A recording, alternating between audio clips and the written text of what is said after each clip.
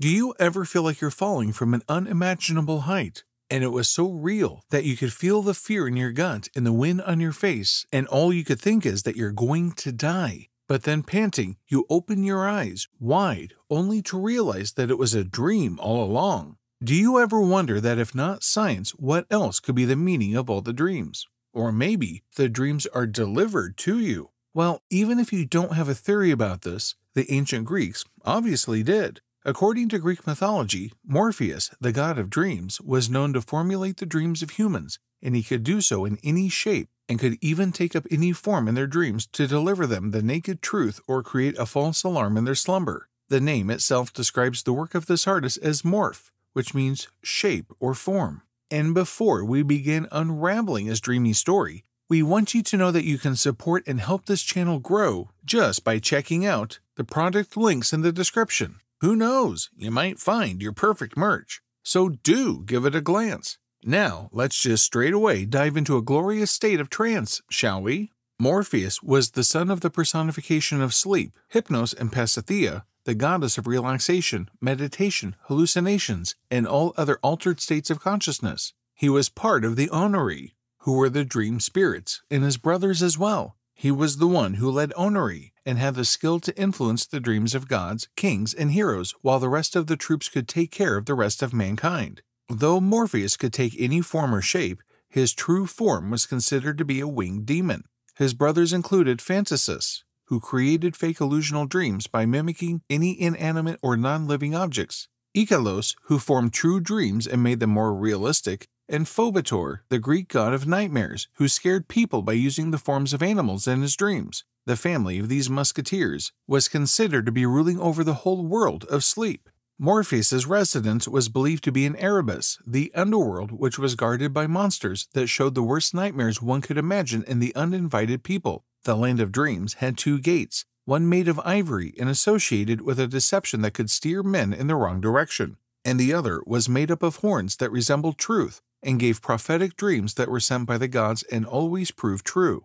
All right, example based crossover time. If by any chance you have read or watched Harry Potter and the Philosopher's Stone, there was a mirror of Erised that showed the perceiver what the heart desires the most, and Dumbledore asks Harry to not dwell on dreams, but rather live in the reality. This statement here has depth in it because it describes how dangerous it is to dwell on dreams, as Morpheus had the power to develop false hopes in the sleeping mind and could use them against you. So there is a story here as well. In the Iliad, once, what Morpheus, on the order of Zeus, was sent to Agamemnon. Now, the Iliad describes the Trojan War, where at a certain point Zeus wanted to shower the glory on Achilles, for which Agamemnon had to suffer an embarrassing defeat. So, for this to happen, Morpheus delivered a false dream of hope to Agamemnon, and he prompted him to follow a messed up strategy which he actually did follow and was defeated in a humiliating way. But how? It was because Zeus, through Morpheus, made Agamemnon believe that he was on his side,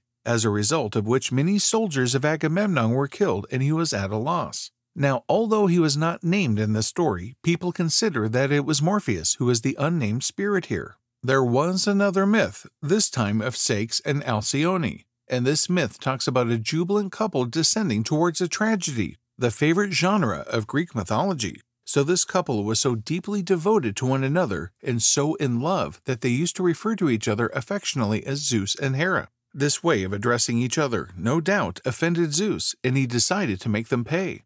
Why? Well, obviously because they used the names of the king and queen of gods, and his pride couldn't digest the fact that he was pissed that the man tried to link himself with the Almighty. So Zeus waited for the right moment, and finally one day he got his chance. It was when Ceyx decided to go on a sea voyage, and no matter how much Alcyone pleaded to accompany him, he refused as the voyage would be a dangerous one and he couldn't risk the life of his beloved. Alcyone had a bad feeling about the trip and even tried to stop Ceyx, but he still decided to continue the journey. On his way at the sea, Zeus sent a ruthless storm and wiped out the existence of Ceyx as he drowned. Before he died, he prayed to the gods that he wants his body to be passed onto the shore where his wife could find him and bury him by following the rituals, as the ancient Greeks believed that the afterlife would not be attained by their souls if they were not buried properly. Hera heard his prayers, and pitying the lover, she fetched for Morpheus to do her bidding. she called upon the goddess of rainbow, Iris, to send a message inviting Morpheus so that he could visit the dreams of the wife and tell her about the death and the last wish of her soulmate. The myth of Iris waking up Morpheus to deliver the message as per the command given to her caught the eyes of the artistic population who created beautiful pieces on the scene. Morpheus took the ghost form of Ceyx, which was deathly pale and naked, and stood beside her wife's bed and told the tale of the tragedy, weeping and asking her to throw aside all the hope she had of him being alive. Alcyone tried to embrace Morpheus, the ghostly form of Ceyx, but he faded away and she could only hug the air. She raced to the shore and found the body of her husband. Not being able to accept the death of her better half, she drowned herself in the ocean as well. On seeing this raw form of love, Zeus felt guilty and decided to turn both the lovers into a pair of kingfishers. This means that Morpheus was also a messenger of God along with all the cool powers that he possessed and along with the attention of artisans also had the attention of the literary people. And we can say so because the influence of his bittersweet dreams and terrible nightmares are echoed in the literary section. One of the examples is The Tempest by Shakespeare, who expresses in the poem his longing for the peacefulness of dreams and sleep.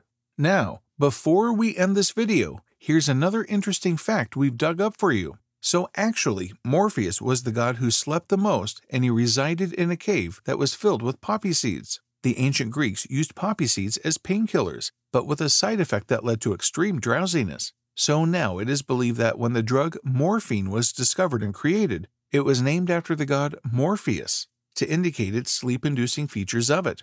Well, with this, we know that as the bringer of dreams in Greek mythology, Morpheus brought hope and despair terror, and peace to the dreaming souls. So is it just us, or will all of you now think of Morpheus and feel that every dream of yours is a sign and is indicating something to you? Please do let us know in the comment section below, and while you're at it, also write about the weird dreams you've had and felt that it was an act of God, or maybe the dream was asking you to do something. Lastly, don't forget to like, share, and subscribe to our channel for more such amazing videos. See you next time yours mythically.